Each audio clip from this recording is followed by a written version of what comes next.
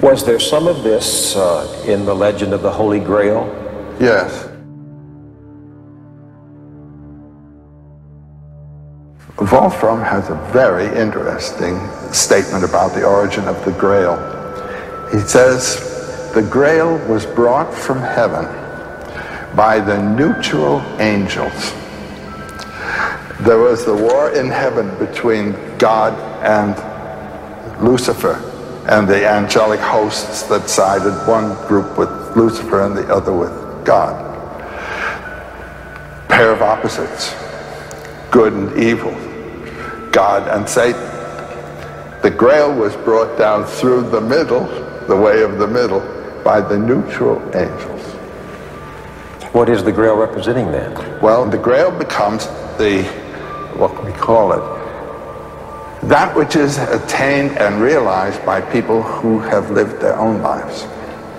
What that means is that the Christian separation of matter and spirit, of, uh, of the dynamism of life and the spiritual, natural grace and supernatural grace has really castrated nature.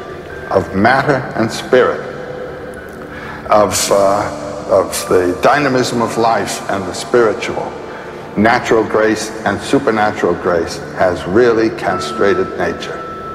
And the, the European mind, the European life has been, as it were, uh, emasculated by this. The, the true spirituality, which would have come from this, has been killed. And then what did the pagan represent?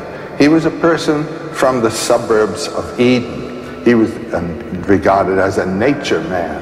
And on the head of his lance was written the word grail. That is to say, nature intends the grail. Spiritual life is the bouquet of natural life, not a supernatural thing imposed upon it. And so, the impulses of nature are what give authenticity to life not obeying rules come from a supernatural authority. That's the sense of the grail. And the grail that these romantic legends were searching for is the union, once again, of what had been divided? The peace that comes from joining? The, the grail becomes symbolic of an authentic life that has lived in terms of its own uh, volition in terms of its own impulse system, which carries it between the pairs of opposites of good and evil, light and dark. Wolfram starts his epic with a short poem saying every act has both good and evil results. Every act in life yields pairs of opposites in its results. The best we can do is lean toward the light as they intend the light. And what the light is, is that of the harmonious relationships that come from compassion with suffering, understanding of the other person. This is what the Grail is about.